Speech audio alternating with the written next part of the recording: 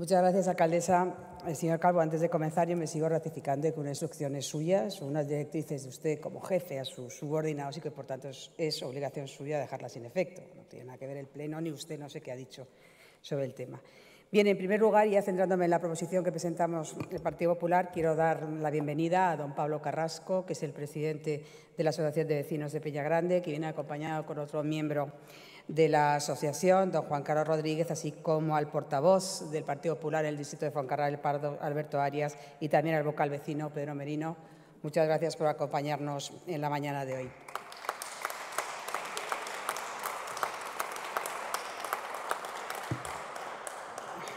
En el mes de abril, eh, señor Calvo, le formulé una pregunta en la Comisión de Desarrollo Urbano Sostenible para que explicara sobre cuáles iban a ser las actuaciones que iba a desarrollar su área en el barrio de Peña Grande, concretamente en la parte denominada Peña Chica, en el distrito de Foncarra del Pardo.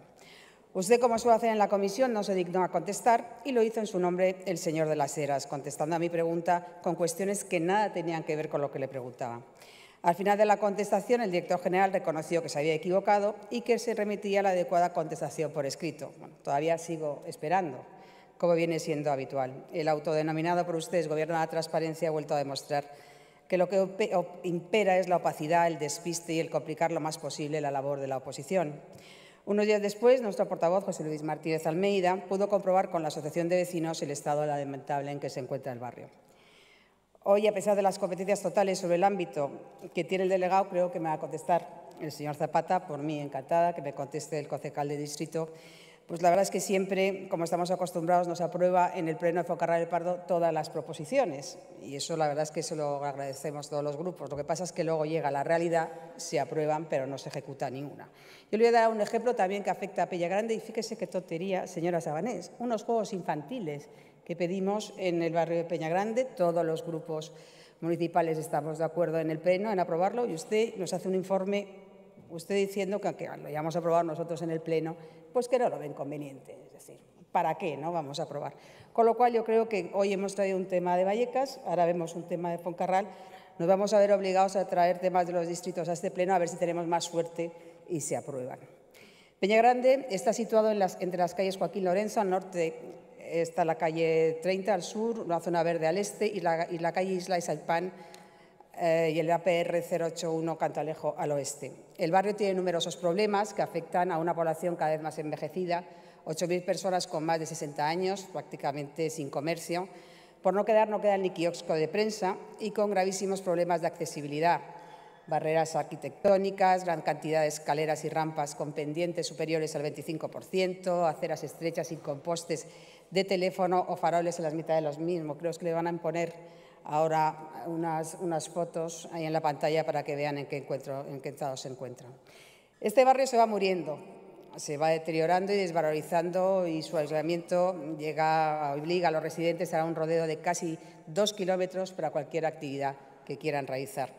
Existe un centro médico de especialidades, centro de referencia en la zona, una vez que cerró el centro médico de Fuencarral, con graves problemas de accesibilidad al mismo y cuyo acceso iba a ser arreglado con 200.000 euros, a ponerse con un presupuesto que tenía ahí la Junta guardado, pero que el acuerdo de no disponibilidad, el primero, porque con este segundo que vamos a aprobar no sé cómo va a quedar, borró y se llevó esos 200.000 euros, con lo cual la accesibilidad de momento que nosotros podamos entender, este año al menos creemos que no se va a arreglar.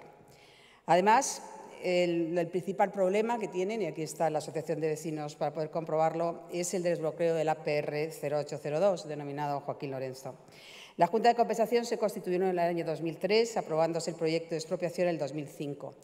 En diciembre del 2008, la Junta de Gobierno decidió no aprobar el proyecto de reparcelación, entre otras razones, al aparecer deficiencias e incumplimientos de los requerimientos efectuados sobre la titularidad de terceros no tenidos en cuenta irregularidades en las propiedades, de acuerdo que se consideró ajustado a derecho por sentencia de 13 de julio del 2011.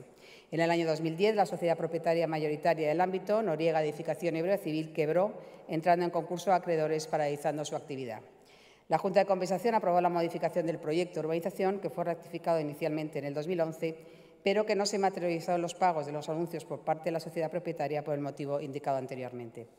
La actividad de la Junta de Compensación quedó interrumpida hasta julio del 2014, una vez resuelto el concurso de acreedores, lo que supuso un relanzamiento de la actuación urbanística por los nuevos propietarios, que creemos que son el 80% de enormes fondos de inversión y luego el 6% de la Cuchuan y el 14% de, la, de los eh, particulares. Bien, en la actualidad la Junta de Compensación ha asumido los costes de ejecución y otra serie de costes, pero según una petición de información que nos editó el área, se nos comunicó que se había presentado un nuevo plan parcial por lo que el proyecto de reparcelación quedaba atrasado hasta que se aprobara el mismo. Bueno, por todo y otros motivos presentamos esta, esta proposición. El primer punto trata de que se realice por ejecución sustitutoria y con carácter urgente las obras de urbanización que son necesarias y que se, une, y que se realice el vial que uniría la conocida Plaza de Ricote con la Plaza Ixarrabin. Segundo lugar, que la Área de Desarrollo Urbano Sostenible realice las obras necesarias para solucionar los graves problemas de accesibilidad del barrio, suprimiendo las numerosas barreras arquitectónicas. En tercer lugar, que el área de desarrollo con carácter urgente las obras necesarias para, rehabilitar las aceras y calzadas en las calles, entre ellas las que están anunciadas, y en cuarto lugar, que el área realice las obras necesarias para eliminar las barreras arquitectónicas en el, en el Centro de Especialidades de Peña Grande. Muchas gracias.